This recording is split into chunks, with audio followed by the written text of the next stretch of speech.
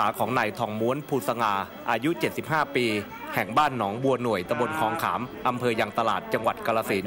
หมอจัดกระดูกให้กับผู้ป่วยที่มีอาการปวดไมเกรนปวดหลัง ปวดกระดูกตามไขข้อ ด้วยวิธีการดึงกระดูกที่ยึดลังตามร่างกายให้เข้าที่ ซึ่งเป็นหนึ่งในวิถีพื้นบ้านที่สืบทอดมาจากบรรพบุรุษ จนได้รับการเชิดชู ผ่านการคัดสรรเป็นผลิตภัณฑ์ภูมิปัญญาวัฒนธรรมของจังหวัดกาลสินให้เป็นหมอจัดกระดูก สาขาความรู้และแนวปฏิบัติเกี่ยวกับธรรมชาติและจักรวาล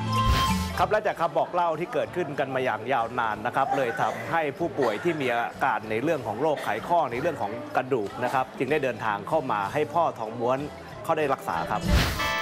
ท้าสมสวัสดิ์พิลาวงอายุ 45 ปี ผู้ป่วยจากสาธารณรัฐประชาธิปไตยประชาชนลาว เป็นผู้หนึ่งซึ่งเลือกเข้ามารักษาด้วยวิธีการนี้ เพราะป่วยด้วยอาการกระดูกทับไขสันหลัง จนไม่สามารถเดินได้ และมีอาการเป็นอัมพฤกษ์ซึ่งก่อนหน้านี้ได้เข้ารับการรักษากับแพทย์แผนปัจจุบัน และเตรียมที่จะเข้าผ่าตัด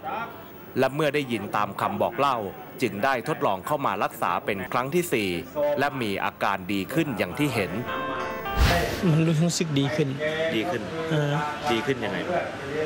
คือจากแต่เก่ามันเดินบ่ได้เนาะแล้วพอมานี่แล้วก็เดินได้ ส่วนวิธีการรักษาพ่อทองม้วนบอกว่าเคล็ดลับนี้เกิดจากบรรพบุรุษจากรุ่นสู่รุ่น และได้ทำการรักษามากว่า 40 ปี ด้วยวิธีการสอบถามอาการก่อนการลงมือจับกระดูก จากนั้นก็จะมีลูกหลานที่ผ่านทักษะฝึกฝนจากการใช้ผ้าขาวม้า ซึ่งจะมัดบริเวณข้อเท้าทั้งสองข้าง เพื่อทำการดึง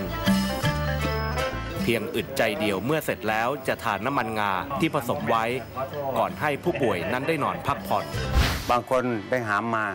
อย่างคนลาวอีกคนหนึ่งนะเขาได้มาสองครั้ง ครั้งแรกเขาก็ได้หามมา ครั้งที่สองเขาเดินได้ก็ดูจากตัวนี้ประเมินผลตรงนี้ หรือประเมินเผผลจากการสอบถามดู คนต่อคนเขามาเล่าฟังว่าคนนั้นเดินได้แล้วคนนี้เดินได้แล้ว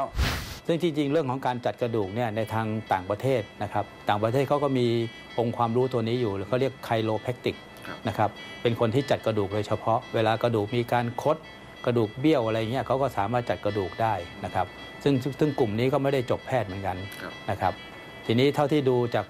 การให้บริการแล้วก็การผลลัพธ์ของผู้ป่วยที่ไปรับบริการเนี่ยเท่าที่ฟังมาก็รู้สึกว่าเขาได้ผลดีนะครับ แล้วก็ไม่ได้ทำเป็นเชิงพาณิชย์นะครับ เท่าที่ดูก็คือว่าการไปรับบริการนี่ก็แล้วแต่ผู้ป่วยจะบริจาคเท่าไหร่นะครับ อันนี้ก็ถือว่า เป็นการช่วยนะครับเขามีจิตกุศลที่จะช่วยเหลือประชาชน ซึ่ง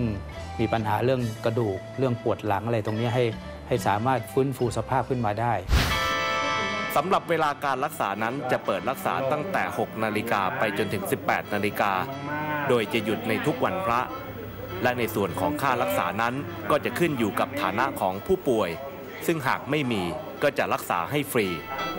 ลักษณะเช่นนี้จึงเป็นการรักษาที่ถือว่าไม่เหมือนใครเลยนะครับสำหรับการใช้ผ้าขาวม้าดึงกระดูก และสามารถที่จะบรรเทาทุเลาให้กับผู้ป่วยที่มีอาการเจ็บปวดได้นะครับ และนี่คือหมอพื้นบ้านทางวัฒนธรรมไทย และถือว่าเป็นของดีของจังหวัดกาลสินธุ์ครับ